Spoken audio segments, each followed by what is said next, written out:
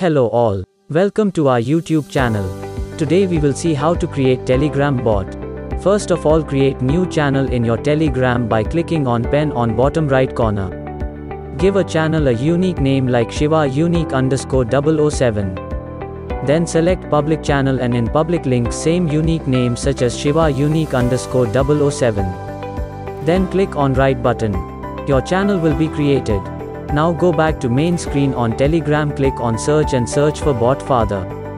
Select bot father. Make sure you select bot father with blue tick. Now type slash start. The bot will reply the instructions. Now type slash new bot. The new instructions will come. Give unique name. You can give same unique name as we give channel name so make things easy and type bot behind that name. I will give name Shiva unique underscore 007 bot. When you get message done congratulation on your new bot the bot is created successfully.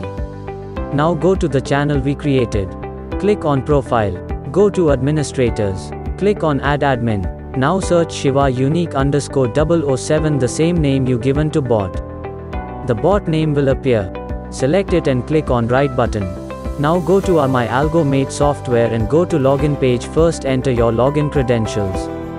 Enable Telegram alerts. Copy API link you get in bot father and paste on bot token. And put channel name in channel name field. Then login. Now you will able to get alerts on your Telegram channel. Thank you so much for watching this video. Hope this information will help you. Please like and share the video and subscribe to our channel and enable all notification by pressing the bell icon for more content like this. If you have any further queries you can reach out to us on email ID and given number.